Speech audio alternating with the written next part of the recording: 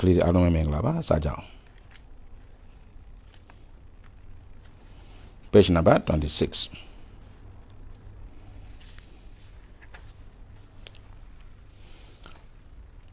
the third paragraph ကစအောင်နော်အဲ့တော့ but two hours study while the other fellow slept and my mind was fresh give me the extra push i had in class work နော်အဲ့ဒါစကြအောင်အဲ့တော့ ပထမဆုံးကဒီပုဂ္ဂိုလ်ကကျောင်းစာမှာလည်းညံ့တယ်အားကစားမှာလည်းထူးကြုံဘူးအဲ့တော့အခုသူထပ်ပြီးတော့မြင့်မယ်ပေါ့ကွာစူးစမ်းမယ်အဲ့ဒါ2 hour studies နှစ်နာရီလောက်စာဖတ်တယ် while the other fellow slept အဲ့တော့တခြားသူနဲ့အတန်းဘော်တွေចောင်းသားတွေဒီဘော်ဒါဆောင်မှာနေတဲ့လူတွေအိတ်ကုန်ကြပြီအဲ့တော့ while ပါတဲ့ကလောဘာကလောဖြစ်မလဲအချိန်ပြဖို့ဆိုတော့ adverb ကလောပေါ့နော် the other fellow the other student ပေါ့အခြားပုဂ္ဂိုလ်တွေ sleep sleep ကဘယ်လောက်ဆို sleep ကတာ S L E P sleep sleep sleep အဲ့တော့ကျောင်းသားတွေအိတ်နေစင်မှာတဲ့နှစ်နာရီလောက်သူစာဖတ်တယ်တဲ့2 hour studies my mind was fresh အဲ့တော့ my mind was fresh စိတ်ကလန်းဆန်းနေတယ်အဲ့လန်းဆန်းနေတဲ့စိတ်ကဒါနောင်ဖြစ်သွားတော့နော်လန်းဆန်းနေ give me the extra push အဲ့တော့ဘာကိုရှာပါ give subject က my mind was fresh mere object the extra push က object ပဲ object နှစ်ခုဆိုဆင်းနံပါတ်4ပေါ့အဲ့မှာ push ကနောင်လို့သုံးတာပေါ့ push က force ပေါ့နောက်ထပ်တွန်းအားတွေအပေါ်တွန်းအားတွေဖြစ်ပေါ်စေတယ်တဲ့ခါစာကြည့်စင်ကစိတ်ကတက်ကြွအဲ့ဒါအဓိကစိတ်ပါပဲလို့တက်ကြွအဲ့တော့ I need အဲ့ push နဲ့ I ကြမှာဗာမြုပ်ဓာတ်မြုပ်တယ်ပေါ့ဓာတ်မြုပ်တော့ which ပေါ့ adjective ကလောပေါ့ဘာနဲ့ကောက်တော့နဲ့ကောက်ဘယ်သွားတော့ဘာကိုတော့ဘာကပါလဲ needed လိုအပ်သည် adjective ကလောဖြစ်တော့လိုအပ်တော့ in class ว่าဆိုတော့ကျောင်းသင်ခန်းစာတွေမှာပေါ့အဲ့တော့ adverb phrase ပေါ့ please ကျောင်းသင်ခန်းစာတွေမှာကျွန်တော်လိုအပ်တော့ extra push နောက်ထပ်ပိုစွမ်းအားတွေပေါ့နော်ပိုစွမ်းအားတွေကိုတဲ့ကျွန်တော်ရဲ့လန်းဆန်းနေတဲ့စိတ်ကကျွန်တော်ပေးပါတယ်တဲ့နော်အဲ့လိုဖြစ်သွားတာအဲ့တော့လန်းဆန်းနေတဲ့စိတ်စိတ်ကတက်ကြွနေတဲ့ခါမှာအိတ်အိတ်ချင်ဘူးစိတ်ကမှိုင်းမှိုင်းတွေးနေတဲ့အချိန်မှာအိတ်ချင်အဲ့တော့ဟာ ငါလို့အောင်မယ်လို့အောင်မယ်ကိုကိုစိတ်ကတွန်းအားပေးနေတော့မအိပ်ဘူးပေါ့ဗျာဒါနော်ဆရာတို့လည်းဒီလိုပါပဲမအိပ်နိုင်ပါဘူးကိုမအင်္ဂလိပ်စာလည်းတင်ရနောက်တတ်တဲ့အလုပ်ကလည်းလုပ်ရနောက်စာပေးစာယူအတွက်ကြောင်းကလည်းစာလည်းကြည့်ရဒါဘာဖြစ်လို့ဒါငါဘဝပြောင်းလဲအောင်လုပ်မှာမဟုတ်ဆိုရင်တော့ဒီတိုင်းဖော်ကြဘဝနဲ့ဘဝနေကုန်းချုပ်သွားမှာလုပ်ရအဲ့တော့ extra post တွေဖြစ်တာပေါ့ extra အပိုဖြစ်တော့ post တွန်းအား အဲ့တော့ post ကဘာနေလဲ post ပဲ present post past tense post အဲ့လိုသွားတာပေါ့ noun လည်း post ပဲအဲ့တော့အဲ့လိုလေ့လာပါတယ်တဲ့ before the 4 years were over I have done enough stumbling block into stepping stone to receive my share of honor in scholastic and sports အဲ့တော့လေးနှစ်မတိုင်ခင် before 4 years were over လေးနှစ်မတိုင်ခင်မှာမပြီးခင်မှာ ဒီတက်ကတူမှာလေးနှစ်နေရမယ်4 years were over over ဆိုတော့ were over ဆိုတော့ finish ပဲ complete ပဲနော်အဲ့တော့လေးနှစ်တက်ကတူကလေးနှစ်တင်တာမကုန်ဝင်ပါပဲတဲ့ I have ကျွန်တော်ပြောင်းနိုင်ပါပြီတဲ့ chain ပေါ့ town တွေပဲပြီးတာ chain enough လုံလောက်သော stumbling block stumbling block ဆိုတာအပိတ်အဆို့အတားအဆီးတွေအတားအဆီးတွေကိုတဲ့ထမ်းကျွန်တော်ပြောင်းလိုက်တယ် into stepping stone ကျွန်တော်တို့ဒါတွေကိုတကက်ခုတုံးအဖြစ်နဲ့သုံးလိုက်တယ်တဲ့ဘာလို့ဖို့လဲ to receive ရရှိဖို့ရမှာ to get ပေါ့ to receive my share of honors အဲ့တော့လူတွေချီးကျူးလာကြပြီပေါ့ share honor ဘယ်မှာရတာလဲဆိုတော့ in scholastics အဲ့တော့ scholastic ကိုနောက်တစ်မျိုးပြောရင် education ပေါ့အဲ့တော့ပညာရေးနဲ့ပတ်သက်လို့ကျွန်တော်လူတွေဂုဏ်ပြုကြတယ် in sports အားကစားနဲ့ပတ်သက်လို့လူတွေကကျွန်တော်ဟာဝိုင်းပြီးတော့ချီးကျူးကြတယ်အဲ့ချီးကျူးမှုတွေကိုကျွန်တော်ခံယူဖို့ရန်နဲ့ကျွန်တော် stamping block တွေကိုတဲ့ stepping stone ဖြစ်ကိုကျွန်တော်ပြောင်းနိုင်နိုင်ပါတယ်ပြောင်းခဲ့ပြီးပါပြီတဲ့လေးနှစ်မတိုင်ခင်ပါပဲအဲ့လိုပြောလိုက်တယ်နော် my share of the honors in scholastic အဲ့တော့ scholastic ကိုတလုံးအတိပ္ပယ်တစ်မျိုးပြောမယ်ဆိုရင် education ပေါ့နော်ကျောင်းပညာရေးမှာထူးချွန်လာတယ်တဲ့ sport မှာအားကစားမှာလည်းထူးချွန်လာတယ်တဲ့ when i step off the stage with my diploma in my hand i thank my mother for the help she gave me that september morning အဲ့တော့ step off the stage ဆိုတာ climb down the stage ပေါ့ဆင်မြင့်ပေါ်ကဆင်းလာတယ်ဘွဲဘွဲလက်မှတ်ယူပြီးတော့ဆင်မြင့်ပေါ်ကဆင်းတယ် step off ဆိုတာဆင်းလာတယ် stage ကဆင်မြင့် with my diploma in my hand အဲ့တော့ကျွန်တော်လက်ထက်မှာရှိတော့ diploma စာရွက်နော် diploma ဘွဲရလာတယ်ပေါ့အဲ့စာရွက်နဲ့အတူတဲ့ကျွန်တော် state ဘောကနေပြီးတော့နော်အဲ့ခုနစင်မြင့်ဘောကကျွန်တော်ဆင်းလာတော့အခါဝင်းအဲ့ဒါ adverb လို့ I think my mother ဒါတော့ mention နဲ့အဲ့တော့ဘာကိုရှာပါဆိုသင် subject က I my mother object subject ပါ object number 3အမေကိုကျွန်တော်ကျေးဇူးတင်တယ် for the help အဲ့ဒီအထောက်အကူရတယ်အမေပြောလို့ကျွန်တော်အထောက်ရနော် for the help သို့မဟုတ် for the advice ပေါ့အမေပေးတဲ့အကြံဉာဏ် she gave me အဲ့တော့ help နဲ့ she ကြမှာဗာမျိုးထားဆို that သို့မဟုတ် which မျိုးထားတယ်အဲ့တော့ gave ကပေးသည်ဆိုတော့ adjective ပြောင်းဖြစ်သွားတော့ပေးတော့ပေါ့အမေကကျွန်တော်ကိုပေးတော့အထောက်အကူအဲ့အထောက်အကူအတွက်ကျွန်တော်အမေကိုကျေးဇူးတင်ပါတယ်ဘယ်တော့ပေးတာ that September morning အဲ့ September morning လာတော့နော်မနေ့မှပေးတယ်အဲ့ဒါကိုကျွန်တော်အများကြီးကျေးဇူးတင်တယ်အမေကြောင့်ကျွန်တော်အခု stumbling block တွေကို stepping stone ဖြစ်အောင်ကျွန်တော်ပြောင်းလိုက်တယ်နော်ကျွန်တော်တို့ဒါတွေကအထောက်အကူဖြစ်စေတောက်တိုင်နေပေါ့ဗျာအဲ့တော့ success ခုန failure are success ပေးလောက် success ကျောင်းသားများမှတ်မိအောင်မနော် failures ကြာဆုံးမှုတွေအဲ့တော့ကြာဆုံးမှုတွေဆိုတာ stumbling block နဲ့တွားတူတော့ failure a pillar of success pillar ဆိုတာထောက်တိုင်နေအဲ့တော့ stepping stone ကထောက်တိုင်နေဖြစ်သွားတာပေါ့ကိုယ့်အတွက်အထောက်အကူရသွားတာပေါ့ဗျာ At the time I passed the bar exam the lawyer whom I most admire was Mr. JB Sizer အဲ့ဒီအချိန်မှာတဲ့ at the time အချိန်ပြဖို့ adverb phrase I passed the bar examination ကျွန်တော်ဥပဒေစာမွေးတွေအောင်တယ်တဲ့လောဘရတယ်ပေါ့ကွာသူပြောတာတော့အဲ့ဒါ pass ဘာကိုရှာပါ pass subject က I the bar exam object subject ပါ object ဆင်းနံပါတ်3ပေါ့နော်အဲ့တော့ pass ကစာမွေးအောင်တာလဲ pass ဖြတ်သွားတာလဲ pass အဲ့တော့ I pass I want to pass I would like to pass by you ခမရနာကျွန်တော်ဖြတ်သွားပြရစေဒီ pass ကိုတောင်းနေပေါ့နော်အဲ့တော့ pass အဲ့တော့ noun နေနဲ့လဲ pass ပဲအဲ့တော့ pass word ဆိုရင်စကားစကားဘက်ကို pass word ခေါ်မယ် WRDS နောက် mountain pass တောင်ကြားလမ်း mountain pass အဲ့ဒါじゃ noun ပေါ့နော်တောင်ကြားလမ်းလို့လည်းရတယ်ပေါ့နော်အဲ့တော့ဒီမှာတော့ someone အောင် pass အဲ့တော့ pass it to me ဆိုအဲ့ဒါလေးလှမ်းစမ်းပါဗျာကျွန်တော်မမီလို့ပါ pass it to me အဲ့တော့ some law somewhere တွေကျွန်တော်အောင်သွားပါပြီ the lawyer whom whom ကရှိရ lawyer ကိုအထူးပြုတယ် adjective clause ပေါ့ i most admire ကျွန်တော်အားအကျဆုံးကျွန်တော်အကြည်ညိုဆုံးသော lawyer ရှိနေကြီးသည်တဲ့ was ဖြစ်သည်အဲ့တော့ဘက်က was subject က the lawyer the lawyer was Mr. JB Sizer Mr. JB Sizer ဆိုတဲ့ lawyer ကြီးကိုကျွန်တော်အရမ်းမြအားကြမိပါတယ် admire အဲ့တော့ဖြစ်နိုင်ခြေရှိတဲ့အားကြမှုကို admire ဖြစ်နိုင်ခြေမရှိတဲ့အားကြမှုကို envy EMV1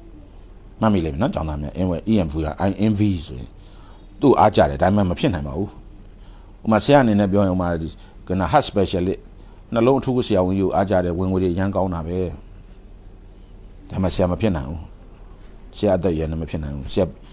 နော်အချိန်ခါနဲ့မဖြစ်နိုင်တော့အဲ့ဒါဆိုရင်ဆရာ MV တောင်းရမှာ EMV V1 MV နော်ဒါလိုတောင်းရမှာဖြစ်နိုင်တယ်ဆယ်တန်းတင်နေတဲ့ကလေးကအားကြတယ်ဆိုရင်ဒါ admire ဖြစ်နိုင်တယ်ဘာလို့ဆိုတော့သူတနေ့ specialty ဖြစ်လာနိုင်တယ်ပေါ့အဲ့တော့ကျွန်တော်အားအကျဆုံးသော lawyer ကြီးသည်တဲ့ Mr. JB Sizer ပါတဲ့အဲ့တော့နော်ကျွန်တော်အခုဆိုရင်ကျွန်တော်လက်ရှင်းနေဖြစ်လာပါပြီတဲ့အဲ့တော့ he has started his practice in Medisoville and then built built up a large law firm in Chattanooga တဲ့ဒါမြို့နာမည်တွေပါအဲ့တော့ he ဆိုတာ Mr. JB Sizer ပြောတာပါ he has started his practice ရှင်းနေရှင်းနေလိုက်တာကို practice လုပ်တယ် အဲ့ဒါမှတ်ထားနော်အဲ့ဒါဒီမှာ practice က noun လို့သုံးတာသူ့ရဲ့ဘက်က PRECTISE he practiced the law ဆိုရင်သူရှင်းနေလိုက်ပြီ he ခုနဆရာဝန်ဆိုလို့ရှိရင် practice the medicine ဆိုရင်ဒါဆေးကုပြီဒါတော့ this doctor practice the medicine PRECTISE practice the medicine ဆိုရင်ဆေးကုပြီအဲ့တော့ရှင်းနေဆိုတော့ရှင်းနေလိုက်တယ်ပေါ့အဲ့တော့ practice ဒီမှာ noun လို့သုံးတာ he started his practice ဆိုတော့သူစပြီးတော့ရှင်းနေလိုက်တာလို့ဗမာလိုပြန်ရမှာပေါ့နော် အဲ့တော့ရှပြီးတော့ရှင်းနေလိုက်တာရှင်းနေလိုက်တယ်တဲ့ဗမာလိုက်လဲဆိုတော့ in Mediso Valley ဆိုတဲ့မြို့မှာရှင်းနေလိုက်ပါတယ်တဲ့ and then ပြီးတော့မှ build up a large law firm အဲ့တော့ law firm ဆိုတာဒီဥပဒေနဲ့ဥပဒေအကျိုးဆောင်ကုမ္ပဏီအဲ့တော့ law firm လို့ခေါ်တယ်အေယာမဥပဒေအကျိုးဆောင်ကုမ္ပဏီကိုသူတီထောင်တယ်တဲ့ build up အဲ့တော့ build up က but subject က he ပေါ့ he build up a large law firm နော် subject က object number 3ဥပဒေအကျိုးဆောင်ကုမ္ပဏီအဲ့ဒါကို law firm လို့ခေါ်တယ်နော် ဗမာတီထောင်တာလဲဆိုတော့ in Chattanooga တဲ့အဲ့ဒီမြို့မှာသူတီထောင်ပါတယ်တဲ့အဲ့တော့ my ambition was to become one of his legal helper with a chance of eventually working my way into partnership အဲ့တော့ my ambition ကျွန်တော်ရဲ့ရည်မှန်းချက် my ambition was to အဲ့တော့ was နဲ့ to နဲ့က must တဲ့ပို့ပြင်းထန်တာကျောင်းသားများမှတ်မိတယ်နော်ဖြစ်ကိုဖြစ်ရမယ် I must begin ဆိုတာမျိုးလို့ပေါ့ I must begin နဲ့ပို့ပြင်းထန်တယ် was to အဲ့တော့ကျွန်တော်ရည်မှန်းချက်ကကျွန်တော်ဖြစ်ရမယ် become one of his legal helpers အဲ့တော့ JB Sizer ရဲ့ဥပဒေနဲ့ပတ်သက်ပြီးတော့သူ့အကူအညီပေးသူဥပဒေနဲ့ legal ဆိုတော့ဥပဒေနဲ့ပတ်သက်တော့အကူအညီပေးသူဖြစ်ရမယ် with a chance of eventually အဲ့ဥပဒေနဲ့အကူအညီပေးသူကနောက်တစ်ချိန်မှာဘာဖြစ်လာမလဲ working my way into a partnership သူနဲ့ partner တွဲပြီးအလုပ်လုပ်ရအဲ့တော့ तू သူနဲ့တွဲလုပ်ရမယ်ဆိုတော့ तू မ तू तू ကကြော့ဒီဒီကိစ္စဒီအမှုတွဲကိုမဲမဲလိုက် ဆရာကြီးမလိုက်တော့ဘူးပေါ့ JB size မလိုက်တော့မဲမဲလိုက်ဒါဆိုရင်ဒါ तू အဲ့လောက်ထိအောင်ကျွမ်းကျင်ဖို့လိုတယ်လေအဲ့တော့ partnership လို့ခေါ်တာပါနော်အဲ့လိုဥပဒေလိုက်တယ်နောက်ပြီးတော့ဘေးကနေစာရွက်စာတမ်းလေးတွေလက်လက်ကမ်းပေးရတဲ့အဆင့်မဟုတ်ဘူးကွာကိုယ်တိုင်ရှိရနေပြီးတော့တခါတည်းတရားရုံးမှာရှောက်လင်းနိုင်တဲ့အဆင့်အဲ့တော့ partnership လို့ခေါ်တာနော်အဲ့တော့ partner လာတဲ့စကားပေါ့ partner ဆိုတာဒါသူနဲ့တွဲပြီးတော့လှုပ်လှုပ်သူ partner သူနဲ့တွဲပြီးအလုပ်လုပ်တဲ့အလုပ်အလုပ်လုပ်တဲ့အလုပ်လုပ်ချင်းဆိုတော့ partnership ပေါ့ အဲ့တော့ partnership စီတို့ကျွန်တော်သွားမယ်ကျွန်တော်လမ်းက my way ဆိုတာကျွန်တော်အဲ့ထိရောက်အောင်သွားမယ် eventually ဆိုတာ finally နောက်ဆုံးမှာတဲ့ကျွန်တော်အဲ့လိုရတဲ့အခွင့်အရေးမျိုးဖြစ်တဲ့အလုပ်မျိုးသူရှိမှ legal help အနေနဲ့သွားလုပ်မှာတဲ့အဲ့တော့ my ambition was to become one of his legal helper with a chance အခွင့်အလမ်းမျိုးရမယ်တနေ့ကျကျွန်တော်သူနဲ့ partnership ဖြစ်ရမယ်တွဲပြီးအလုပ်လုပ်တာသူနဲ့ဒန်းတူပခုံးချင်းရှင်အလုပ်လုပ်တယ်ပေါ့သူပမာလို့ပြောရင် partnership ဆိုတာပခုံးတင်းရှင်ပြီးတော့အလုပ်လုပ်တယ်အဲ့လို လုပ်တဲ့ဆွမ်းမျိုးဖြစ်အောင်ဖြစ်တဲ့ရည်မှန်းချက်မျိုးကျွန်တော်မှရှိတယ်နော် my ambition was အဲ့တော့ ambition ကရည်မှန်းချက်သူ့ရဲ့နောက်ကရည်မှန်းချက်ကြီးမားသော ambitious a m b i t i o s ambitious adjective နော် ambitious ကကောင်းတာလည်းရတယ်မကောင်းတာလည်းရတယ် ambitious ရည်မှန်းချက်ကြီးမားသောကချုပ်ကြတော့တော်တော်အကြံကြီးတဲ့ကောင်ဆိုကလင်ကြီးပေါ့ဒီလိုမျိုးလည်းအဓိပ္ပာယ်ထွက်တယ်ပေါ့အဲ့တော့ my ambition was to become one of his ဖြစ်လာမယ်တဲ့အဲ့တော့ဘတ်ကိုရှာပါဆိုတော့ was to ပေါ့ subject က my ambition ပေါ့အဲ့တော့ become နောက်က complement ဖြစ်သွားတာပေါ့နော်အဲ့လိုဖြစ်ဖြစ်ရမယ်တဲ့ become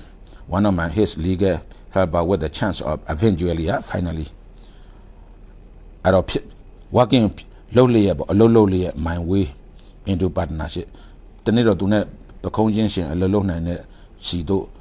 တွဲပြီးတော့အလုပ်လုပ်လျက်နောက်ဆုံးမှာတော့အလုပ်လုပ်လျက်သူနဲ့ legal partner ဖြစ်အောင်လုပ်မယ်တဲ့ the ambition ဆက်ပါဆိုနော်ဆရာ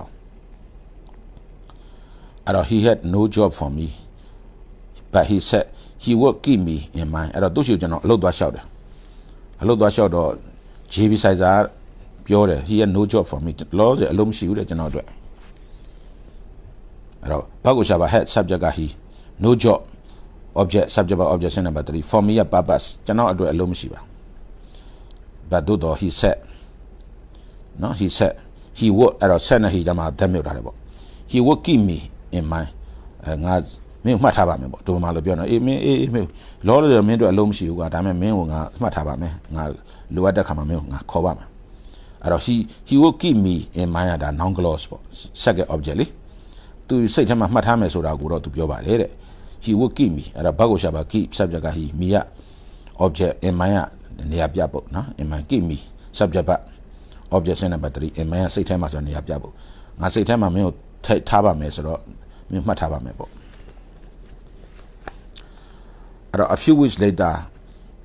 a widow came to me တဲ့အဲ့တော့ तू तू က Mr. JB Sizer ကသူ့ကုမ္ပဏီမှာအလုပ်ကျွန်တော်တော့ကျွန်တော်လည်းကျမကျွန်တော်ဆိုင်မုတ်ကလေးထောင်ပါတာပေါ့အဲ့တော့လောက်တော့တနေ့ကျတော့ကျွန်တော်ရဲ့ client အမှုတွေရောက်လာပါတယ်တဲ့သူကပြောတယ်နော် a few weeks later ဒါအချိန်ပြဖို့ a widow မိုးဆိုးမတယောက်ကိန်းဘတ်ကိုရှာပါကိန်း subject က a widow ကိန်းတော့မ object မလို့ subject ပါ send number 1 to me at direction ကျွန်တော်ရှိကိုမိုးဆိုးမတယောက်ရောက်လာတယ် widow ဆိုမိုးဆိုးမ widow ဝါဆိုရင်တော့မိုးဆိုးဖို့ယောက်ျားဆိုရင် widow ဝါမိန်းမဆိုရင် widow widow ဝါ W D O W E R widow ဝါဆိုရင်ဒါယောက်ျားမိန်းမဆုံးသွားတဲ့ယောက်ျားဒါ widow came to me ရောက်လာပါတယ်တဲ့ she needed help in obtaining compensation from a railroad company for the acid accidental death of her husband အဲ့တော့သူကဘာဖြစ်စေချင်တာလဲဆိုတော့ she needed ဘာကိုရှာပါ needed subject က she help က object သူအကူအညီလိုတယ် subject ပါ object sin number 3 in obtaining compensation obtaining ဆိုတာ getting ပဲ obtain က get ပဲ compensation ဆိုတာရော်ကြီးအဲ့တော့ရော်ကြီးရခြင်းကိစ္စမှာဒါမင်းနာပေါ့ obtaining compensation ဘယ်ရရမှာလဲဆိုတော့ from a railroad company ဒါက direction နော် from အဲ့တော့ မြေအထားကုမ္ပဏီမှသူတို့တိုင်နိုင်မြေအမေရိကန်မှာမြေအထားကုမ္ပဏီအလုံးဒါပုဂ္ဂလိကပိုင်တာအစိုးရမပိုင်အဲ့တော့မြေအထားကုမ္ပဏီထားမှာတဲ့ရော်ကြီးရရှိဖို့ကိစ္စမှာတဲ့အကူအညီလိုလို့ပါတဲ့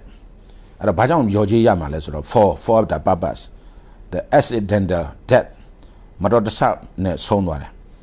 ဘလူဆုံးတာလဲဆို of her husband သူ့ယောက်ျား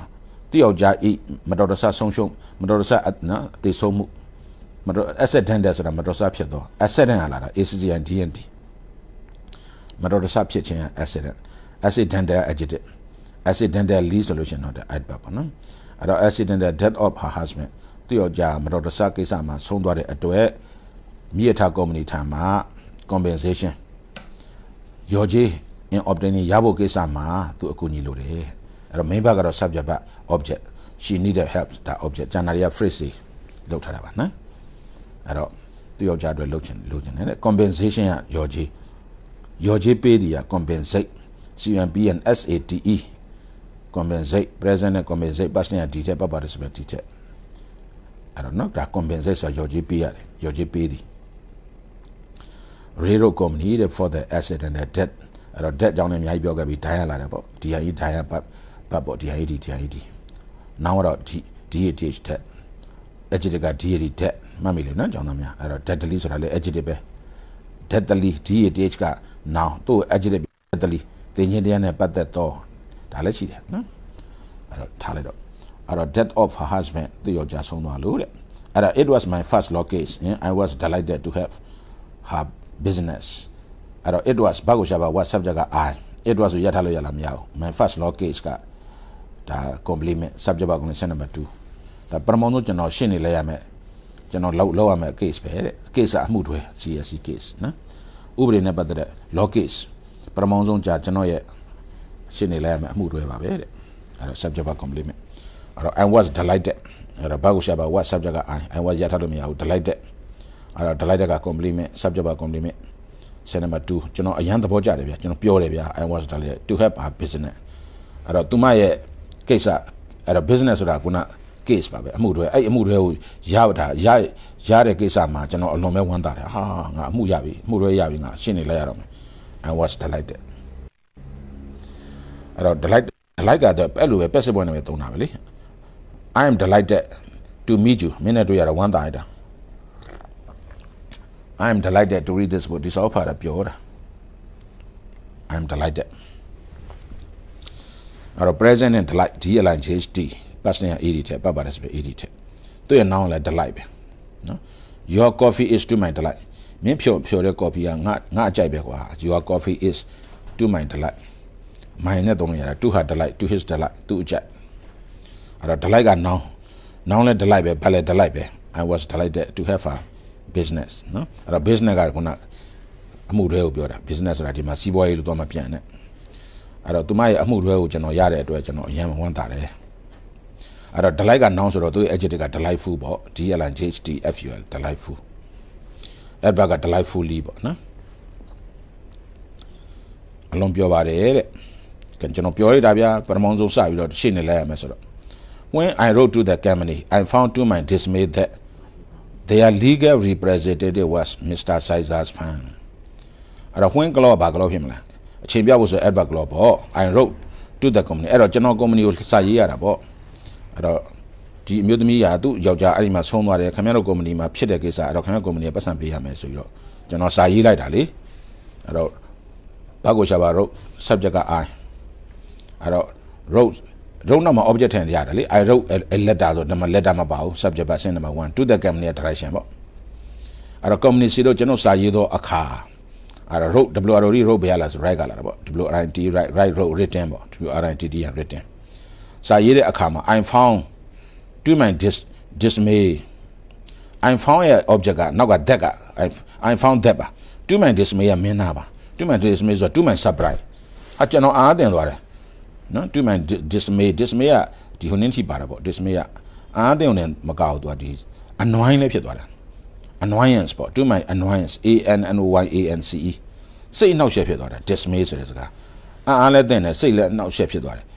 အဲ့ဒါမင်းနာ I found that ဘာကိုရှာပါ found subject က I that က complement also a found object subject ပါ object စနံပါတ်3အဲ့တော့ that က object ဖြစ်တဲ့အတွက်ကိုနဲ့ကောင်းမလဲ they are legal representative they are ဆိုတာ company အဲ့ဒီ company ရဲ့ကုမ္ပဏီကနေပြီးတော့သူတို့ငှားထားတာရှိတယ်သူတို့ကုမ္ပဏီနဲ့ပတ်သက်တဲ့ဒီအမှုတွေပဲဖြစ်လို့ရှိရင်လိုက်ဖို့အတွက်ကိုယ်စားလှယ်ဥပဒေနဲ့ပတ်သက်တဲ့ကိုယ်စားလှယ်သူတို့ငှားထားတာအဲ့ဒါ representative ဆိုတာ company ကိုစား legal ဆိုတာဥပဒေနဲ့ပတ်သက်တော့ company ကိုယ်စားလှယ် representative ကကိုယ်စားလှယ်သူတို့ရဲ့ company နဲ့ပတ်သက်တဲ့ကိုယ်စားလှယ်ဥပဒေနဲ့ပတ်သက်တဲ့ကိုယ်စားလှယ်ဒီ Mr. Sizer ဖြစ်နေတာ Mr. Sizer ရဲ့ company ဖြစ်နေတယ်ဆိုတော့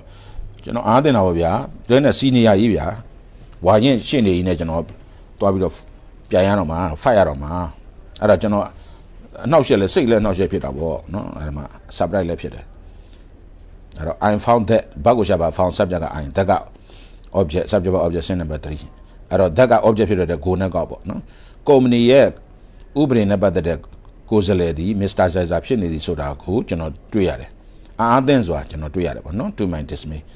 အဲ့လိုတွေးလိုက်ရတယ်တဲ့ a letter from Mr. Zaza himself showed that he felt strongly that ours was not a legitimate case အဲ့တော့ Mr. Zaza လည်းစာပြန်လာစာပြန်ရေးတာပေါ့ဗျာသူ့ကုမ္ပဏီကဒီမှာရော်ကြီးတောင်းနေတယ်ဗျာခင်ဗျအဲ့အဲ့ကြောင်ပြန်ပြီးတော့စာပြန်ရေးလို့ပြောတော့ Mr. Zaza လည်းစာပြန်ရေးတာပေါ့ အဲ့တော့ Mr.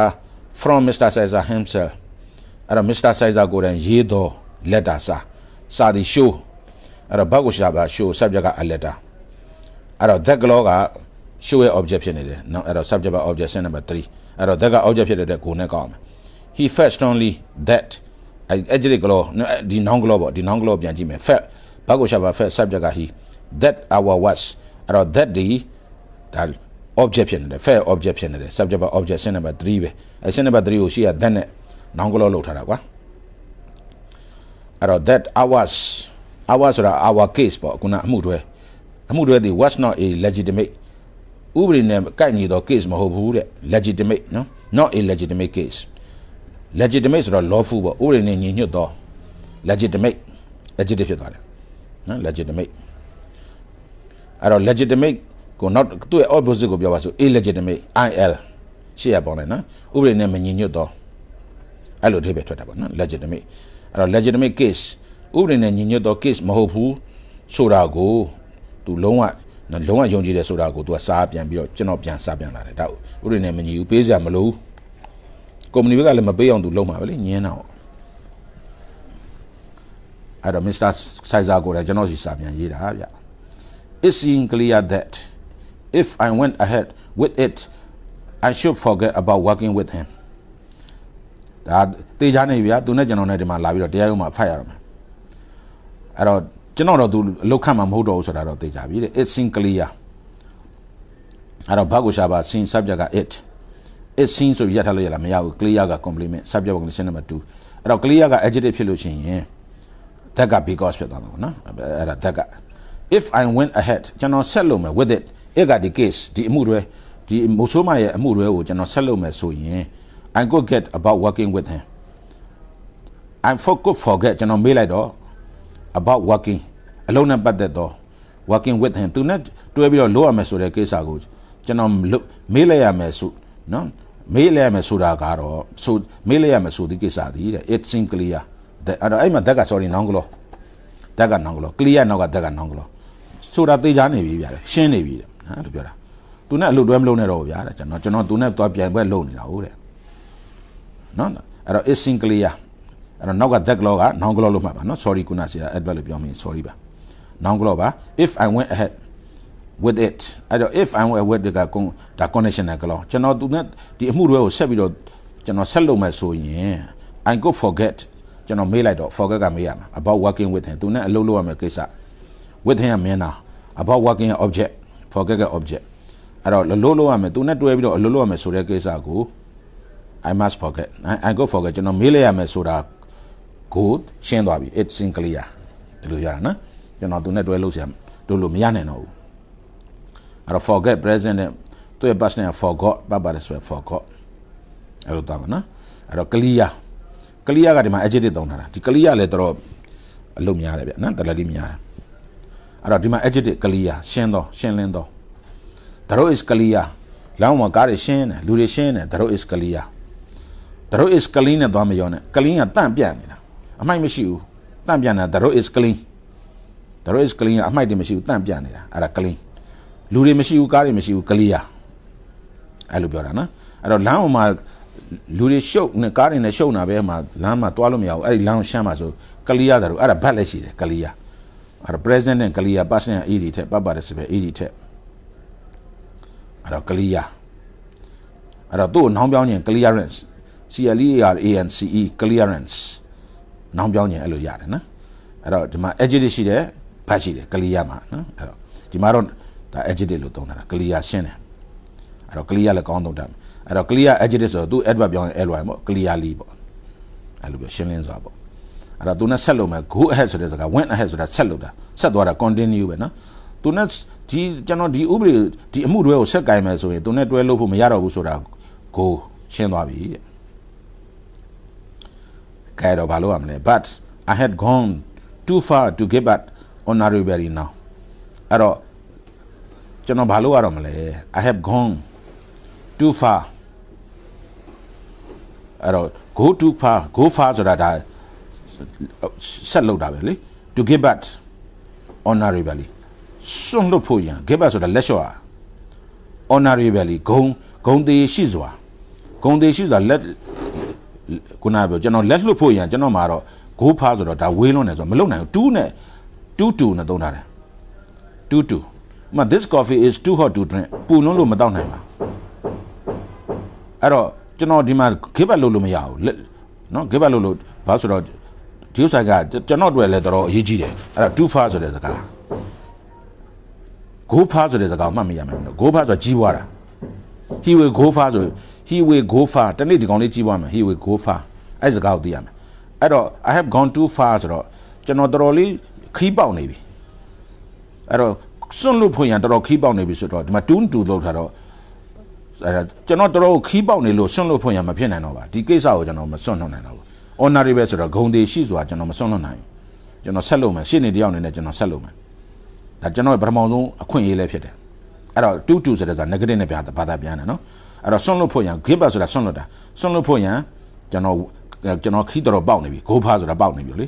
စွန့်လွတ်ဖို့ရန်ပေါက်နေပြီဆိုတော့ခီးခီးတော်တော်လေးပေါက်နေလို့မစွန့်လွတ်နိုင်ပါအဲ့လိုပြောလိုက်အဲ့တော့ honorary ပဲလေဘယ်လာဆို honor လာတာပေါ့ H O N O R honor honor ဆိုတာ ဖတ်လဲရတယ်ခေါင်းလဲရတယ်နော် honor ဂုံပြုတ်တည်လဲရတယ်ဂုံပြုတ်ခြင်းလဲရတယ် honor သူ့ရဲ့ adjective က honorary ပဲ H O N O R A B L E အဲ့တော့ adverb ပြောင်းတော့ honorary ပဲလီအဲ့တော့ဂုံသေးရှိစွာကျွန်တော်နောက်ဆုံးလို့မဖြစ်တော့ဘူးတဲ့ဆက်လို့မယ်အဲ့တော့ a few days later I was in the court room face to face with Mr. Sizer အဲ့တော့နောက်ရက်ကြာမှတရားရုံရောက်တော့တာပေါ့ဗျာကုမ္ပဏီကမပေးဘူးဆိုတော့ကျွန်တော်တို့တရားရုံတင်ရတော့တာပေါ့ a few days later ဆိုတော့ adverb phrase ပေါ့ I was ဘာကိုရှာပါ was subject က I I was ရထားလို့မရဘူးလေမရတော့ in the court room ကဒါက complement ပေါ့ subject ဘာ condition number 2ပေါ့ကျွန်တော်တို့တရားရုံးမှာရောက်နေပါသည် face to face ဆိုတာဒါမင်းသား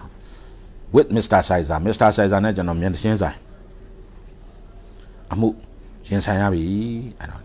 အဲ့တော့ face to face နော်ဒါကဒါမင်းသားနော်အမှုရဒါ adverb phrase face to face အဲ့တော့ face to face ဒီမှာ face က noun face တစ်လုံးနဲ့ဆိုရင် noun ပေါ့ face to face ကမင်းသားပေါ့နော်အဲ့ဒါ adverb phrase ဖြစ်သွားတာ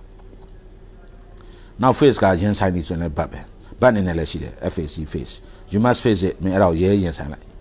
အဲ့လိုပြောလိုက်တာ you must face it ဒီပြဿနာမင်းရင်ဆိုင်လိုက်တော့ face it now he faced the music ကျောင်းသားများမှတ်မိလဲမှာ face the music ဆိုရင်အဆူခံရတာလေ FACS he faced the music နော်အဲမင်းရဲ့ကျောင်းပြေးလို့ဆရာဆူတယ် he faced the music အဲ့တော့ face to face with Mr. Sizer Mr. Sizer နဲ့မျက်နှာချင်းဆိုင်လေးရဲ့ကုတ်ရုံးထဲမှာကျွန်တော်ရောက်နေပါသည်အဲသူနဲ့အမှုရင်ဆိုင်ရတာပေါ့အဲ့တော့ I was terribly embarrassed but I have worked hard on preparing my client's case and I presented it to the best of my ability I I was ဘာကိုရှာပါ was subject က I I was ရထားလို့ရလားမရဘူးအဲ့တော့ embarrass က complement subject ဘာ condition number 2 embarrass ကိုအဓိပ္ပာယ်ပေးတာအနွိုင်း E N N Y E D စိတ်အနှောက်အယှက်ဖြစ်ရတယ် terribly ဆိုတော့ very badly ဆိုးဆိုးရွားရွားကျွန်တော်စိတ်အနှောက်အယှက်ဖြစ်ရတယ်ဗျာဘာကြောင့်လဲဆိုတော့တကယ် grade ကြီးနဲ့လာပြီးတော့ကျွန်တော်အမှုရင်ဆိုင်ရတာ ਉ ရင်ဆိုင်ရပါတယ်တဲ့အဲ့တော့ embarrass e m b a r r a s a s နော် a s s embarrass e m b a r r a s s embarrass စိတ်နှောက်ယှက်ဖြစ်သည်နော် she embarrass me သူကျွန်တော်ကျွန်မကိုကျွန်တော်ကိုစိတ်နှောက်ယှက်ဖြစ်အောင်လုပ်တယ် embarrass e m b a r r a s s e s ပေါ့ဒါတော့ singular ဆိုရင်ပါလေဒါတို့မှာတော့ the past tense ဖြစ်နေလို့ ed လို့ထားတာ sorry best boy လို့ထားတာ best boy ဆိုတော့ v3 ပေါ့ embarrass ဆို annoying ပေါ့ a n n y e d အဲ့တော့ present tense embarrass e m b a r r a s a s s နှလုံးပေါ့သူ့ရဲ့ past tense ed ထက်ပတ်ပတ်တဲ့ spell ed ထက်သူ့ရဲ့ noun embarrassment e m b a r r a s s m e n t embarrassment စိတ်နှောက်ယှက်ဖြစ်ရခြင်း စိတ်နှောက်ယှက်ဖြစ်တာပေါ့သို့တော့ i have work hard ကျွန်တော်ကြိုးစားပါတယ်အဲ့တော့ဘတ်ကိုရှာပါ work hard subject က i on preparing ရတာမင်းလားနော် preparing ဆိုတာပြင်ဆင်တယ် my client's case ကျွန်တော်အမှုတွေရဲ့အမှုကျွန်တော်အမှုတွေအမှုနော်ကျွန်တော်အမှုတွေရဲ့အမှုအတွက်ကျွန်တော်အကောင်းဆုံးပြင်ဆင်တယ် on preparing နော်ဒါမင်းလားအဲ့တော့ပြင်ဆင်တယ်အကောင်းဆုံးကျွန်တော်ကြိုးစားတယ် work hard လုပ်တယ် subject ဘတ်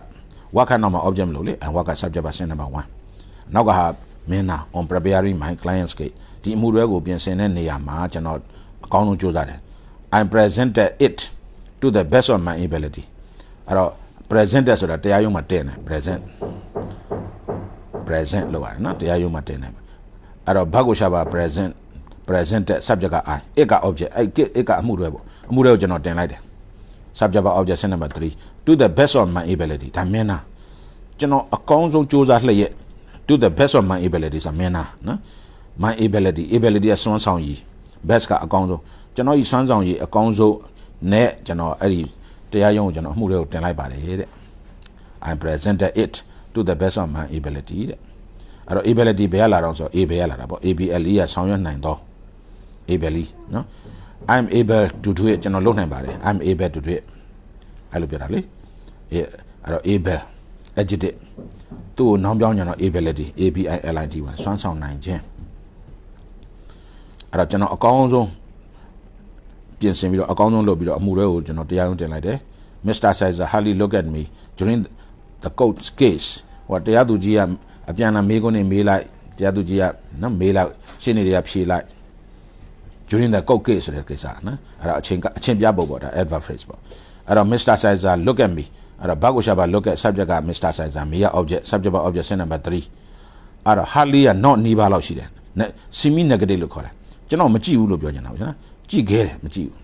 Mr. Sizer ကျွန်တော်မျက်နှာမကြည့်ဘူး during the court case ကျွန်တော်သူသိတယ်ဒီမှာကျွန်တော်အလုပ်သွားလျှောက်ထားတာကျွန်တော် junior လေးဆိုတာသူသိတာပေါ့ဒါပေမဲ့သူကျွန်တော်မကြည့်ဘူးသူလည်းသူလှုပ်သူလှုပ်နေမယ် during the court case ကုတ်ကတရားရုံးအဲ့တော့ကုတ်ဒီမှာကုတ်ကတရားရုံးနေနဲ့သုံးတယ် အဲ့တော့ back အနေနဲ့ပြောရင် COU ဒီကုတ်ကပိုးပန်းတယ်လို့လည်းရတယ်နော်ပိုးပန်းတယ်ဥမာလူမျိုးတစ်မျိုးရဲ့ပိုးပန်းတဲ့ delay အဲ့ဒါ coating cast ခေါ်တာ COU TIN coating custom CUSTM coating custom ဆိုတာပိုးပန်း delay လို့အဓိပ္ပာယ်ထွက်တယ်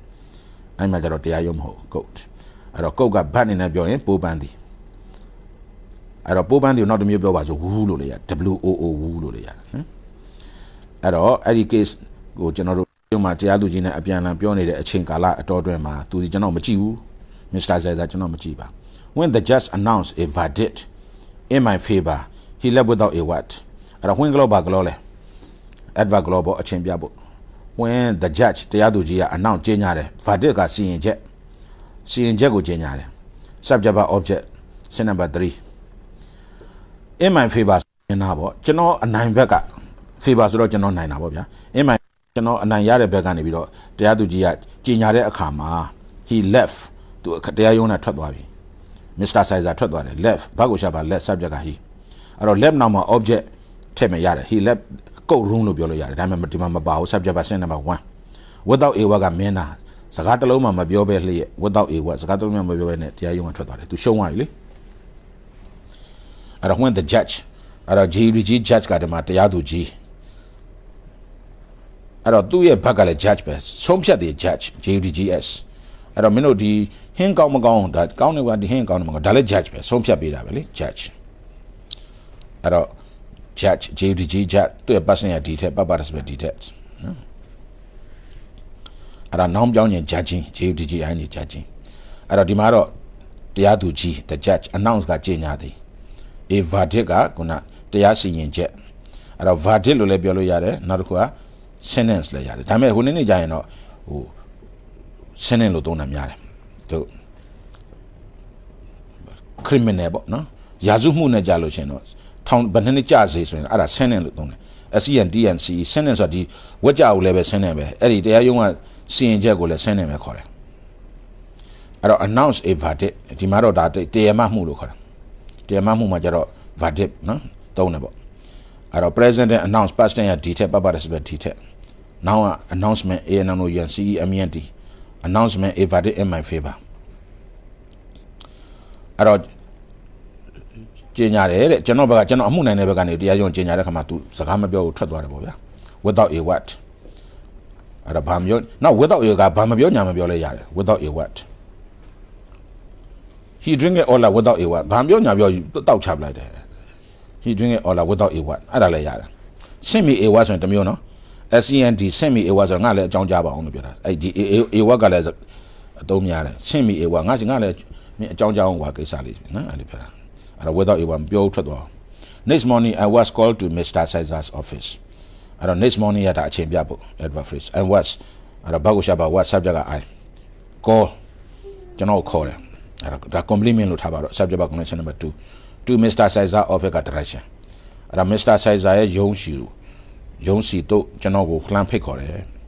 နော် call အဲ့ကျွန်တော်တွားတွေ့ရတယ်ပေါ့အဲ့တော့ to my amazement amazement လဲ surprise ပဲ amaze ကလာတာနော် amaze ဒါပေမဲ့ तू ကအံ့အသင့်တာကောင်းတယ်ဟို embarrass လို့ဘာလို့ကမကောင်းတဲ့ဘက်က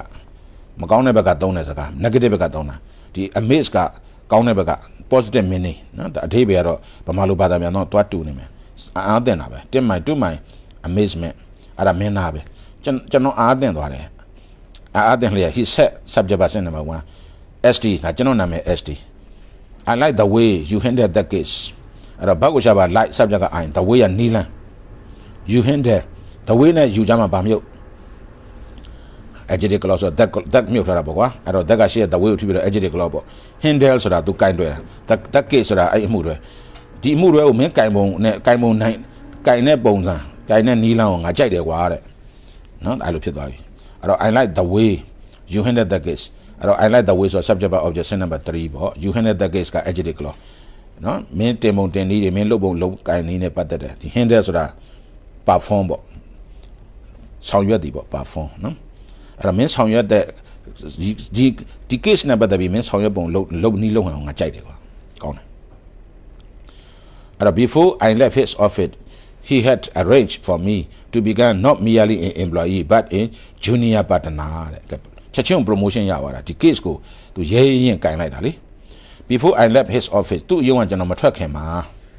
မထွက်ခွာခင်မှာအဲ့တော့ before ဆိုအချိန်ပြဖို့ adverb clause အဲ့တော့ဘာကိုရှာပါ left subject က I his office object subject object set number 3သူ့ရုံးမှာကျွန်တော်မထွက်ခွာခင်မှာအဲ့တော့ left left ကဘယ်လာဆို leave ကလာတာ leave leave leave left left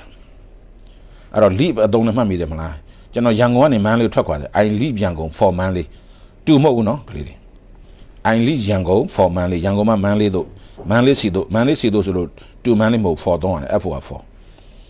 I leave ရန်ကုန် for မန်းလေးနော်ရန်ကုန်မှာမန်းလေးတို့ထွက်ခွာသွားတယ်အဲ့တော့ဒီမှာတော့သူ့ရုံးကနေကျွန်တော်မထွက်ခွာခင်မှာ he had arranged ဘာကိုရှာပါ arrange subject က he အဲ့ arrange နောက်မှာ object လို့ရတယ်ပေါ့ဒါပေမဲ့ object မထည့်တာ subject က sin number 1 for me ရတာ purpose ကျွန်တော်အတွက်သူစီစဉ်တယ် to become ဖြစ်ဖို့ရန် purpose not merely not only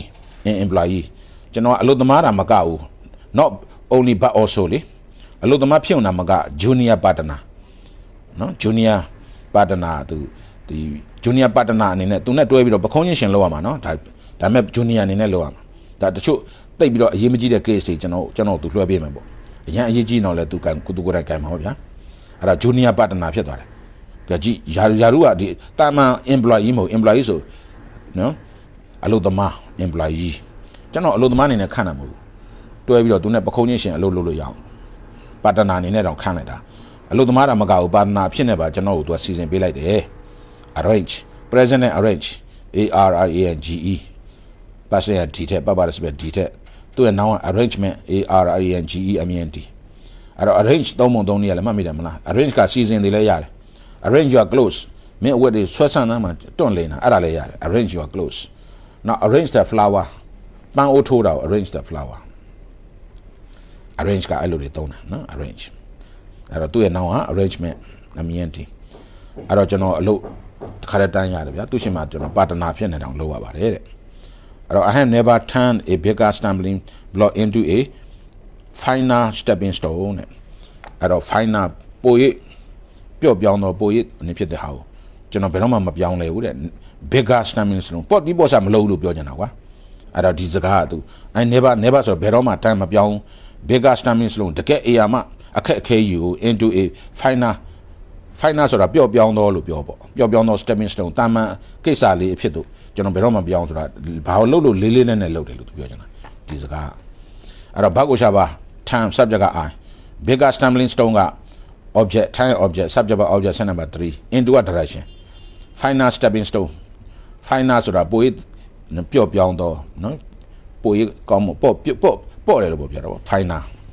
stepping stone ဖြစ်ကိုကျွန်တော်ဘယ်တော့မှဒီကအေယာမကိစ္စကြီးအေယာမအခက်အခဲကြီးကိုပေါ်ဒီပေါ်ဆက်ကျွန်တော်မလုပ်ဘူးသူတို့သူပြောရပ်တို့တို့ရိုးစကားနဲ့ပြောအဲ့လိုပြောတာပေါ့ကွာမလုပ်ဘူးတဲ့တေချာကျွန်တော်လုပ်ပါတယ်တဲ့အဲ့တော့ fine ဘယ်ရလာဆို fine ရလာတာပေါ့ fine ကောင်းပါတယ်ရာသူတို့ကောင်းတယ်ဆို fine ဒီလိုပြောချင်တာပေါ့ကွာအဲ့တော့ fine အဲ့တော့ဒီမှာခုနကိစ္စကိုပျော့ပြောင်းတော့ဒီရဲ့တိမ်မွေးတော့အဲ့ဒါကိုလည်း fine လို့သုံးတယ်နော် fine fine finance ပေါ့ F I N E S T ပေါ့နော် fine fine finance in 1947, after having been in the House of Representatives for some years, I decided to run for the Senate. 1948ခုနှစ်မှာဒါအချိန်ပြဖို့ Edward Phrase after having been in the House of Representatives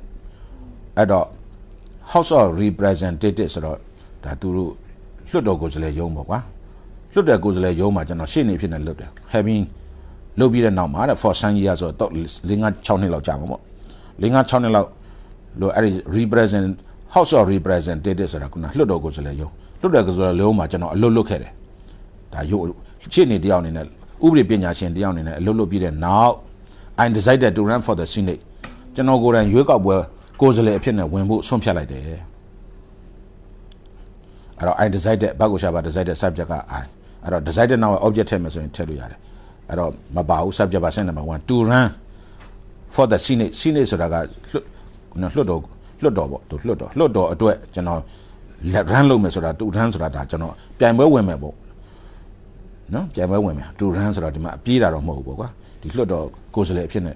ရှင်ပြိုင်မယ်ရှင်ပြိုင်ရှင်ပြိုင်ဖို့ရန် decide ဆုံးဖြတ်လိုက်ပါတယ်တဲ့နော် အဲ့တော့ decide DCID decide ဆုံးဖြတ်သည် DCID past နဲ့ D တဲ့ပတ်ပတ်တယ်ဆိုပြီး D တဲ့ now a decision DCI SION decision ဆုံးဖြတ်ဆုံးဖြတ်ချက် decision အဲ့တော့ decide decisive ပြတ်သားတော့ဆိုတာမှတ်မိတယ်နော် DCI SIVE decisive decisive victory ပြတ်ခဏပြအပြတ်တတ်နိုင်တာ decisive victory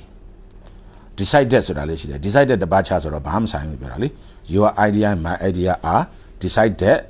departure DBR DY ဒါတတ်တအတုံးနှုံးနေနော်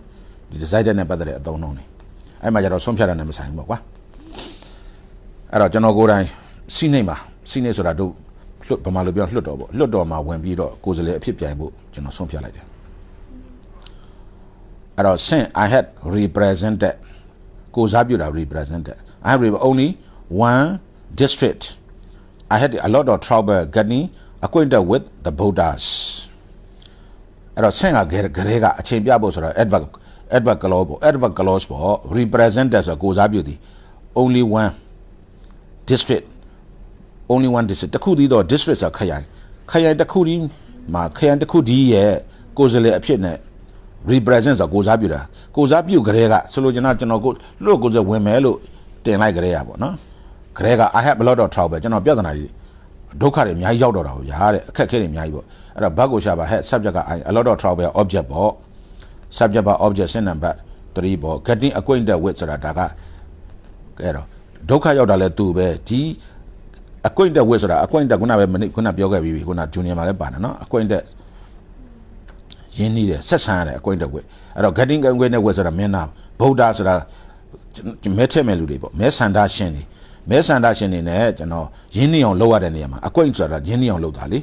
my acquaintance ဆိုတာပြောခဲ့ပြီဆရာဒါ this is my acquaintance လို့ပြောရင်ဒါကျွန်တော်နဲ့အသိကျွန်တော်အခင်တဲ့လူဒီလိုပြောနေတာတငယ်ချင်းအဆင့်တော့မရောက်သေးဘူးအဲ့တော့ acquainted with voters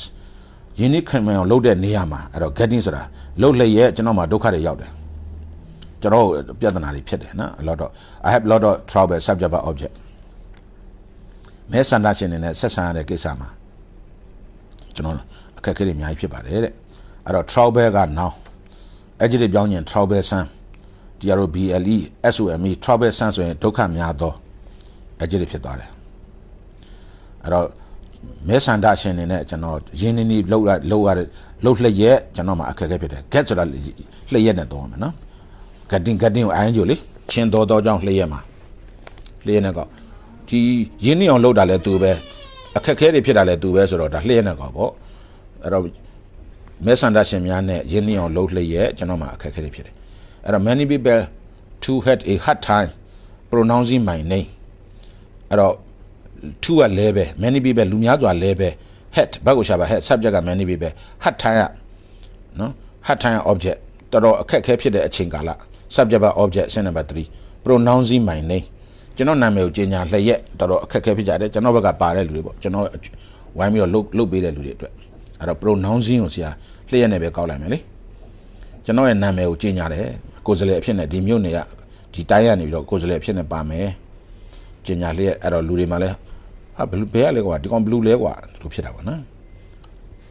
pronouncing အဲ့ဒါ pronounce ဆိုတာကြေညာတာမှတ်မိတယ်နော် pronounce အတန်ထွက်တာကိုလည်း pronounce ခေါ်တယ်ခုနကတော့ announce လာပြောတယ်အခုဒီမှာတော့ pronouncing လို့ပြောတယ် my name ကျွန်တော်နာမည်ကိုကြေညာတာနော်တော့အတန်ထွက်တာကိုလည်း pronounce ခေါ်တယ် P R O N O N C E pronounce present နဲ့ pronounce ဒါ past နဲ့ detail ပတ်ပတ် detail အဲ့တော့သူ့ရဲ့ noun က pronunciation မှတ်မိလိမ့်မယ်နော်အတန်ထွက် P R O N U N O U N C A N နော် pronunciation C A T I O N pronunciation ကဲဟုတ်ပြီအဲ့တော့ကျွန်တော်နာမည်ကိုကြေညာလေရဲ့တော်တော်လေးသူတို့မှာ hard time ဆိုတော့တော်တော်အခက်အခဲဖြစ်တဲ့ကာလပါပဲတဲ့ with two strong candidates opposition me the situation did not look very encouraging အဲ့တော့ with two strong candidate ကျွန်တော်နဲ့ရှင်ပြရမယ် candidate ဆိုတာကိုဒီဝင်ပေါ့ လွတ်တော်ကိုယ်စားလှယ် candidate နော် opposition me opposition ရှိရ candidate ကိုအထူးပြတော့ adjective ပေါ့ကျွန်တော်နဲ့ဆန့်ကျင်ဘက်ဖြစ်တော့ opposite ဆိုတာကျွန်တော်နဲ့ပြိုင်ရမယ်ကျွန်တော်နဲ့ပြိုင်ဘက်ဖြစ်တော့ candidate များက too strong တကယ်ကိုစွမ်းရည်ရှိတဲ့လူတွေ too strong ဖြစ်တယ်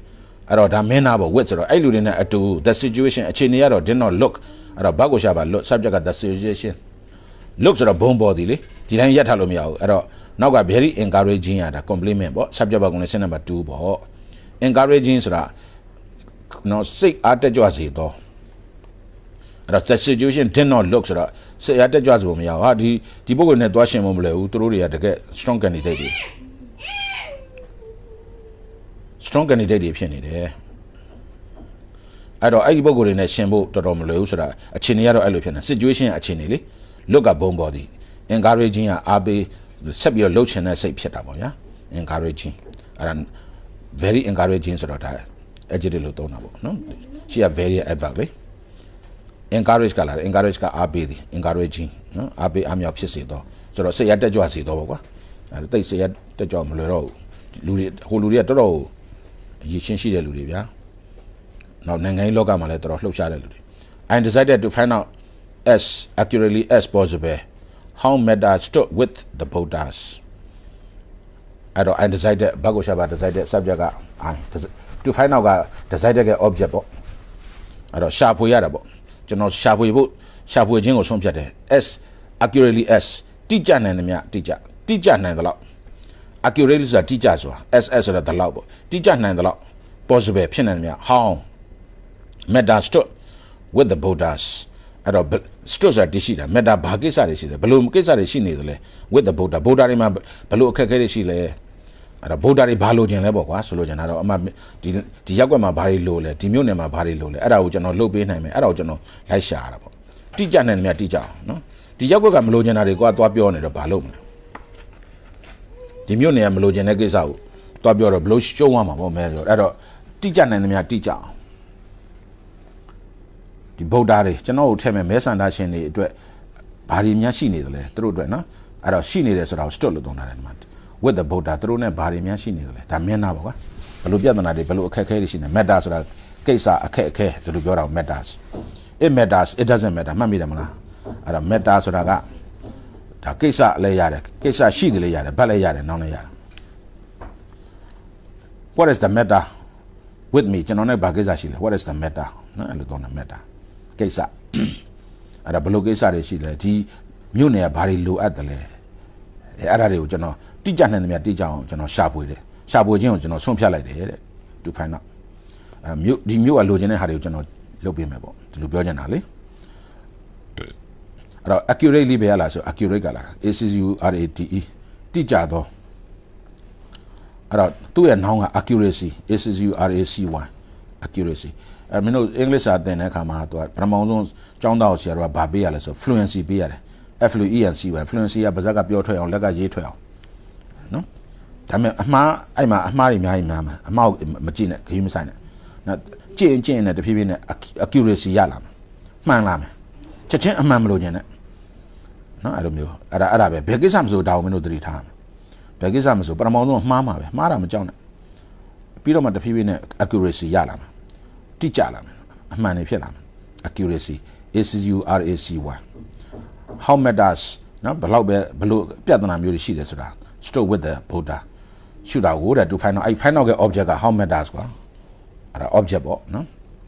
ဘယ်လိုပြဿနာမျိုးတွေရှိနေတယ်ဆိုတာကို to find out ရှာဖွေဖို့ရန်ကျွန်တော်ဆုံးဖြတ်လိုက်တယ်ရှာဖွေခြင်းကိုဆုံးဖြတ်လိုက်တယ်တဲ့ဒါပဲပေါ့ accurate as accurately as possible ဆိုတာတော့မင်းနာပေါ့တိကျနိုင်တယ်များတိကျဖြစ်နိုင်တယ်များဖြစ်နိုင်လုပ်တယ်တဲ့နော် I asked representative of a famous research pool to determine the Buddha's preference among the candidates အဲ့တော့ I ask ကျွန်တော်မေးရတာပေါ့ကျွန်တော်ကိုယ်တိုင်လိုက်မလုပ်နိုင်ဘူးအဲ့တော့အဲ့မှာအချက်လက်တွေ data တွေကိုစုထားတဲ့အဖွဲ့တွေရှိတယ်အဲ့တို့ကျွန်တော်မေးရတယ် I ask ဘာကိုရှာမှာ ask subject က I representative အဲ့တော့ representative ဆိုတာကိုယ်စားလှယ်ဘယ်ကကိုယ်စားလှယ်ဆိုတော့ famous research pool research pool ဆိုတာကစန္ဒ တုတေနနာမည်ကြီးတဲ့ဒီပြည်သူတွေရဲ့ဆန္ဒကိုတုတေနလောက်ထားတဲ့နာမည်ကျော်အဖွဲ့ကနာမည်ကျော်မှာအဖွဲ့အဖွဲ့မှာ represent ကိုယ်စားလှယ်တွေကိုကျွန်တော်မေးရတယ်။ဘာလို့ဖို့မေးတာလဲ to determine ဒါဒါမှဆုံးဖြတ်ထားဖို့ determine the Buddha's preference prefer လာတဲ့စကား preference ဆိုတာနှစ်သက်ခြင်း the Buddha's delight ပေါ့ကွာ among the candidates အဲ့တော့ among the candidates ဆိုတာ candidate ကပြိုင်ပွဲဝင်မဲ့ကိုယ်စားလှယ်တွေကိုယ်စားလှယ်တွေကြားထဲမှာဗုဒ္ဓမဲဆန္ဒရှင်တွေရဲ့ဟိုနေမဲဆန္ဒရှင်တွေသဘောကျမှု preference ဆိုတာသဘောကျမှုကိုဆုံးဖြတ်ဖို့ရန်တူဒါမဲ့နောက်ဆုံးဖြတ်ဖို့ရန်အဲဘလူးတွေကိုကြသဘောကျနေလဲပေါ့ကွာဆိုလိုချင်တာအဲ research pool မှာ research pool ဆိုတာ pool ဆိုတာပြည်သူရဲ့ဆန္ဒကိုလိုက်ပြီးတော့ကောက်တဲ့ဟာကိုအဲ့ဒါ pool လို့ခေါ်တယ်ဘလို့ဆန္ဒတွေရှိနေတဲ့လူတွေမှာ အဲ့ဒါအဲ့ဒီအဖွဲ့ကနာမည်ကြီးတယ် famous research ဒါသူတို့ရှိအလကားတော့မရဘူးပတ်စံပေးရမှာပေါ့အဲ့လူတွေရှိရနေပြီးတော့ကျွန်တော်မေးရတာပေါ့ representative ဆိုတာကိုယ်စားလှယ် famous research ဘူးမှကိုယ်စားလှယ်များကိုကျွန်တော်မေးရတယ်ဘာလို့ဖြစ်ဆိုတော့ to determine the voters preference အဲ့တော့ဒါကိုဆုံးဖြတ်ပေးမယ်နော်အဲ့တော့ကျွန်တော်လိုက်ရှာတာပေါ့အဲ့တော့ကိုယ့်ရဲ့ကိုယ်နဲ့ပြန်ပြလူတွေရဲ့အားနည်းချက်ကိုလည်းကိုသိအောင်လုပ်ရတာပေါ့ preference က now သူ့ရဲ့ adjective ဘက်က prefer PRF က prefer အဲ့တော့ prefer နဲ့ပတ်သက်လို့ဥမာစီအနီအောင်စာအုပ်နဲ့ အပြာအောင်စာအုပ်ကိုဘယ်ဟာပို့သဘောကြလဲ I prefer red book အဲ့မှာ them မဟုတ်ဘူး to blue book blue book တဲ့စာရဲ့ red book ကိုကျွန်တော်ပို့သဘောကြတယ် I prefer the red book to prefer ပို့သဘောကြတယ် to blue book နော် prefer to တုံးရနော် prefer them မဟုတ်ဘူးနော်သဘောသဘောကြတယ်အဲ့ဒါပို့ပြီးတော့သဘောကျခြင်းမယ်အမှန်တကယ်နေတယ် candidate တွေမှာ blue ကပို့ပြီးတော့ဗုဒ္ဓတွေက blue ပို့သဘောကျလဲဆိုတော့ဆုံးဖြတ်ဖို့ရန်အဲ့တော့ famous research ပူးတွေထံမှာကိုယ်စားလှယ်တွေရှိကိုကျွန်တော်မေးရတယ်တဲ့ အဲ့တော့ the pool showed that only 30% of the voters were for me ဆိုတော့အဲ့လူတွေလိုက်ပြီးတော့သူ့တင်တာပြုတဲ့အခါမှာဗုဒ္ဓ73ယောက်နော်တရားမှာ73ယောက်ပဲကျွန်တော်သဘောကျတယ်လို့ရှိတယ်ကြည့်ပါဦးရှုံးပြီဗောဒီအနေထားရဆိုရင်ပူးရဆိုလို့ရှိရင်တော့ the pool show အဲ့တော့ဆန္ဒကောက်ယူခြင်း show ကဘတ်ဘတ်က show subject က the pool တက်က object ပေါ့ subject ပေါ့ object number 3 only 30% of the voters 30%လို့တန်ထွက်တယ်နော် percent မဟုတ် percent ဗုဒ္ဓမဲဆန္ဒရှင်73ရာနှုန်းသားလေ where for me ကျွန်တော်အတွက်ရှိတယ်အဲ့တော့ where ဘတ်ကိုရှာပါ where subject က30% of the voter where ဆိုရထားလို့မရဘူး for me က complement အဲ့တော့ကျွန်တော်မှာကျွန်တော်ကိုသဘောကျတာ73ရာနှုန်းပဲရှိတယ်ဆိုတာကိုတပူရှိုးအဲ့ဒီဆန္ဒကောက်ယူမှုကပြသနေပါတယ်နော် subject က object ပေါ့အဲ့တော့ this news was so shattering that I did not tell my campaign campaign manager because I did not want to discourage him further အဲ့the day အချက်လက်ကခုနကတော့ Poo research ကထွက်လာတဲ့ကိန်းဂဏအရာဆိုရင်ကျွန်တော်ရှုံးနိုင်တယ် the news အဲ့ the day was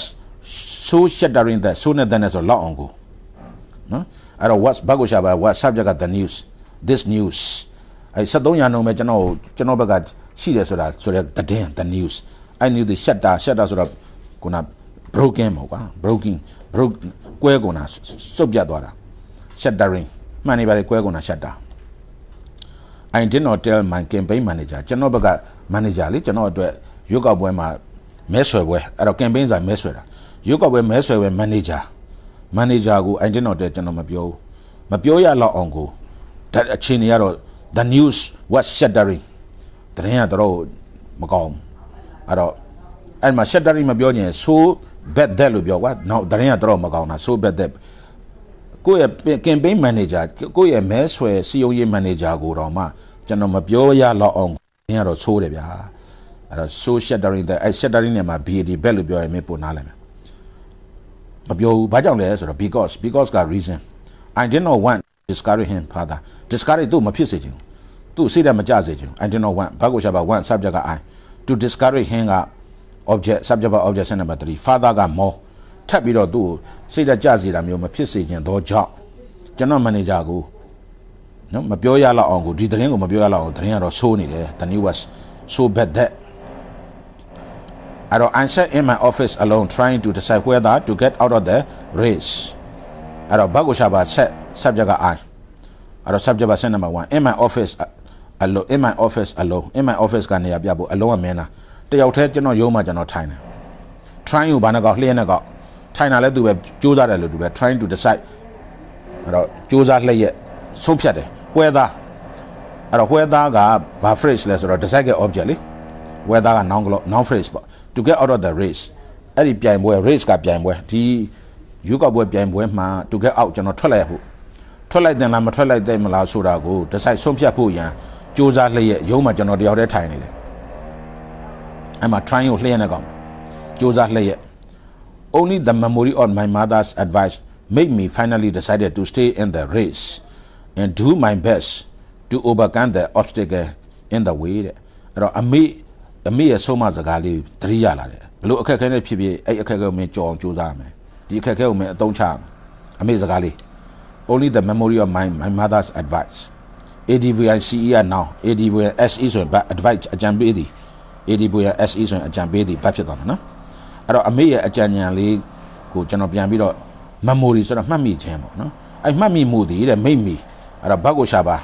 make subject က memory of my mother advice မိရ object နော်အဲ့ဒါ object နောက်က decide က complement နော်အဲ့တော့ make ပါလို့ရှိရင်နောက်က decide က batch ရှင်းမှာတူမြုပ်ထားတယ်နော်အဲ့ decide ရှင်းမှာ see တို့ hear တို့ watch တို့ make တို့ let တို့ feel တို့ပါရင်နောက်က bat မှာတူမြုပ်တယ် သူလည်း complement ပဲမိရ object to to decide to stay in the race အဲ့ပြိုင်ပွဲမှာဆက်နေဖို့ရန်ဆုံးဖြတ်ခြင်းကိုအမေအမေအကြံဉာဏ်လေးကကျွန်တော်လုပ်ပေးတယ်နော်ကျွန်တော်ဆက်နေမယ်ပြီးတော့ do အဲ့ do ရှင်းမှာလည်းတူမြုပ်ထားတယ် advice my mother advice made me to do မှာ to ဖြုတ်ထားလဲ made me do my best အကောင်းဆုံးလုပ်ရမယ် to overcome the obstacle obstacle အခက်အခဲ overcome ဆိုတာကျော်လွှားတာဒီအခက်အခဲတွေကျော်လွှားမယ် in the way ဒီနည်းနဲ့ကျော်ရမယ်အခက်အခဲတွေကိုကျော်ရမယ်ဆိုတာအဲ့အဲ့ဒါမျိုးနော်ကျော်ကျော်အကောင်းဆုံးလုပ်ရမယ်ဆိုတာရဲနောက်တစ်ခါပြိုင်ပွဲမှာဆက်လက်ပြီးတော့ရှင်ရိုးကောက်ပွဲပြိုင်ပွဲမှာဆက်လက်ရှင်ပြိုင်ဆက်လက်ရှင်ပြိုင်မယ်ဆိုတော့ဆုံးဖြတ်ချက်ကိုကျွန်တော်အမေအကြံဉာဏ်လေးကကျွန်တော်ဟိုတဲ့လာပြီးတော့ပေးပါတယ်လှုပ်ပေးပါတယ်တဲ့အဲ့တော့အမေကြောင့်ပေါ့လေအမေပြောတဲ့အကြံဉာဏ်လေးကြောင့်ကျွန်တော်ဆက်ပြီးတော့ပြိုင်တယ်နောက်အခက်အခဲတွေကျွန်တော်ကြော်မယ်ဆိုပြီးတော့ဆုံးဖြတ်လိုက်တယ်တဲ့အဲ့တော့နိုင်လားမနိုင်လားဒီမနေ့ပြန်ဖတ်ကြတာပေါ့လောင်းနေနားပါ